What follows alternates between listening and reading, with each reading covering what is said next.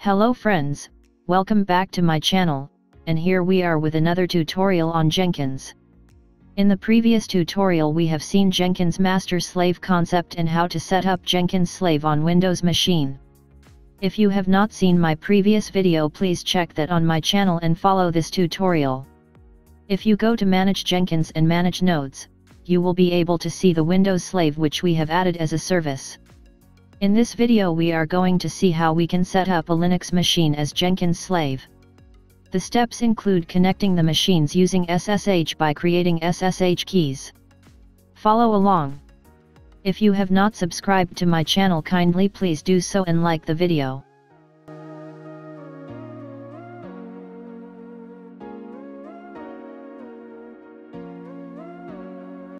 Let's create a new node under Manage Nodes give a name and select Permanent Agent.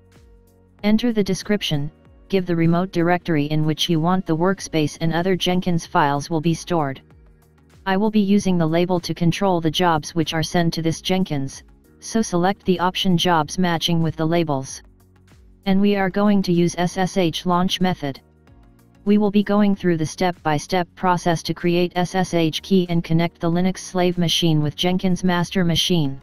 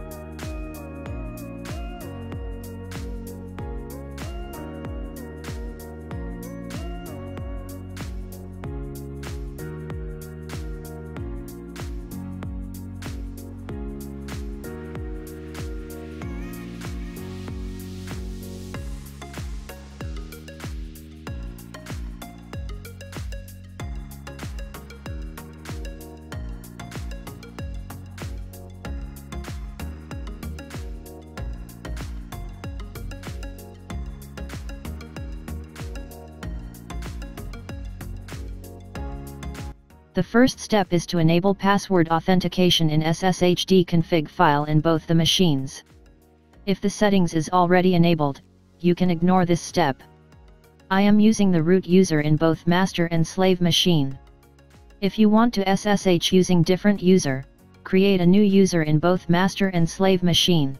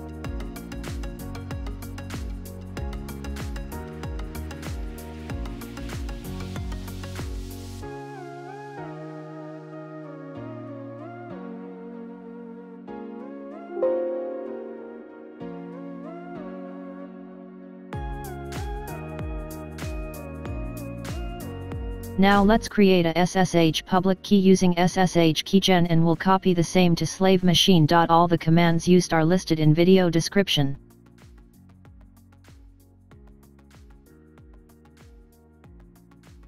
You can press enter when it is asking for file location to save and also twice when asking for passphrase. No need to enter anything so it will save the file to default location.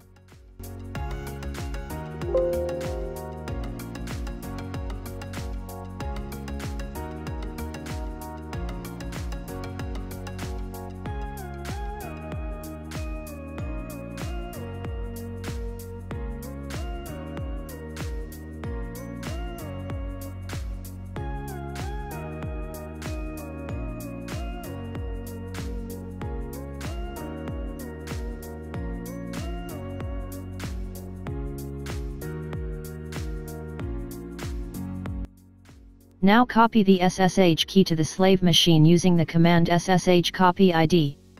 You can test the SSH connection once the file copy is completed.